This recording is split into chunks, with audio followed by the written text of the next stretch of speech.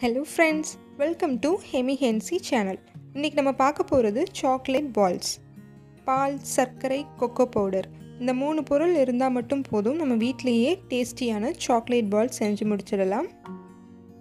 சரி வாங்க வீடியோக்குள்ளே போகலாம் இப்போ ஸ்டவ் ஆன் பண்ணிவிட்டு பாலை ஊற்றிக்கலாம் நான் மூணு கப் பால் எடுத்திருக்கேன். இது செவன் ஃபிஃப்டி எம்எல்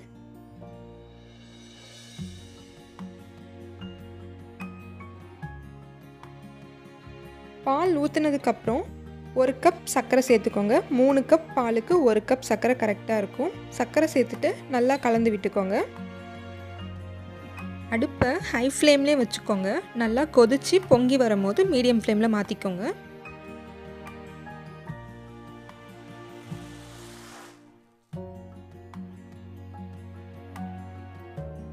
இந்த மாதிரி பொங்கி வரும்போது மீடியம் ஃப்ளேமில் குறைச்சிக்கோங்க.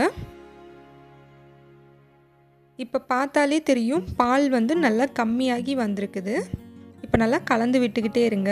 இன்னும் கொஞ்சம் கம்மியாகி கெட்டியாகும். அது வரைக்கும் கலந்து விட்டுக்கோங்க.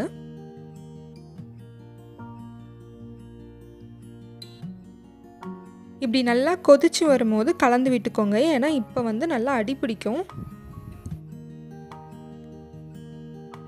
நல்லா கலந்து விட்டுக்கிட்டே இருங்க. பால் வந்து இன்னும் கொஞ்சம் கெட்டியாகும். பால் வந்து நமக்கு கடையில் கிடைக்கிற கண்டென்ஸ்டு மில்க் மாதிரியே வரும். நல்லா கலந்து விட்டுக்கோங்க. இப்போ பார்த்தாலே தெரியும் பால் வந்து நல்லா கெட்டியாகி கண்டென்ஸ்டு மில்க் மாதிரி வந்துருச்சு. இந்த ஸ்டேஜில் வந்து நீங்கள் ஸ்டவ் ஆஃப் பண்ணிவிட்டு அதை கூல் பண்ணிவிடுங்க நான் ஒரு பவுலில் மாற்றிக்க போகிறேன் நமக்கு ஒரு கப் கண்டென்ஸ்டு மில்க் கிடைக்கும். நீங்கள் வீட்டில் செய்யலைன்னா நீங்கள் கடையில் ரெடிமேடாக கூட கடையில் வாங்கி கண்டென்ஸ்டு மில்க் நீங்கள் ஆட் பண்ணிக்கலாம். இப்போ அதே பேனில் நம்ம ரெடி பண்ணி வச்சுருக்க கண்டென்ஸ்டு மில்கை சேர்த்துக்கிறேன். சேர்த்ததுக்கப்புறமா ஒரு கால் கப் கொக்கோ பவுடர் சேர்த்துக்கிறேன். நான் சளிச்சு எடுத்துக்க போகிறேன் ஏன்னா கட்டி கட்டியாக இருக்கும்ல அதெல்லாம் இருக்கக்கூடாது அதனால் சளிச்சு எடுத்துக்கிறேன்.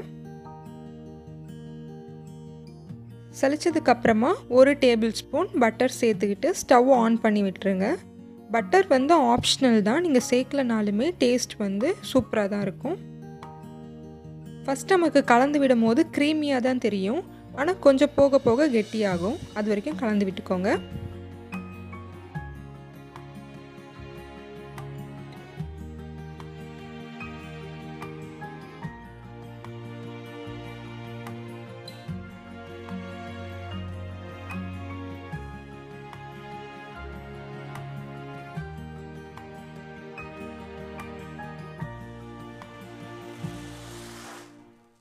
பாருங்கள் நல்லா கெட்டியாகி வந்திருக்குது. இந்த ஸ்டேஜில் வந்து நீங்கள் ஸ்டவ் ஆஃப் பண்ணிவிட்டு அதை ஆற விட்டுருங்க. இன்னும் கொஞ்சம் கெட்டியாச்சுன்னா கல் மாதிரி ஆகிடும் அதனால் ஆஃப் பண்ணிக்கலாம்.